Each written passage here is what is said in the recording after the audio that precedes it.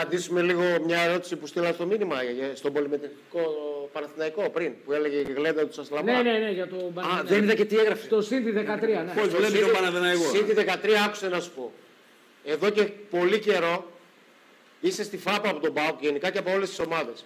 Καταρχήν ξεκίνησες να κάνεις προσπάθειες με έναν πρόεδρο ο οποίος είναι δεκανίκη του ε, άλλου δίπλα του Μαρινάκη. Ό,τι πει ο Μαρινάκης λοιπόν. Άρα δεν έχεις δικαίωμα να μιλάς.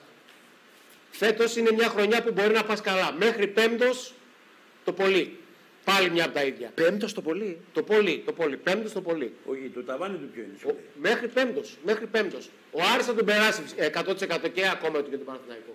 Μάλιστα. Γιατί με μια μεταγραφή που έκανε δεν θα φέρει τον, την άνοιξη.